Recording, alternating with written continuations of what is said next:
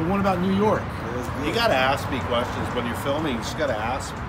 Well, I'm saying that um, Yeah. the the lure of the Sorry. lure of East Coast Oh, comedy. beer. The yeah, lure lighter. of East Coast comedy.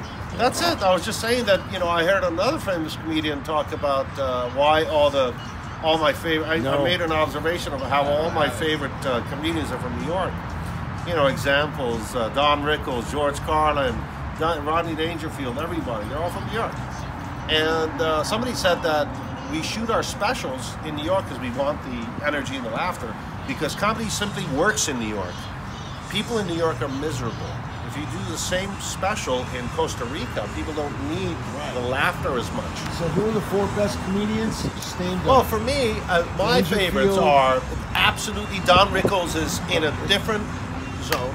okay. Uh, Don Rickles, uh, Rodney Dangerfield, George Carlin, uh, and there's a there's Dice. That's also That's it. Brooklyn. Oh, how about Bill Sam Burr's from Kinison? about Sam Kinison. They're they're all like I've looked at it. and It's nuts. It's must like seven, eight, nine massive comedians that are all from New York. Favorite actor? Um, Tommy Lee Jones still Okay. used to be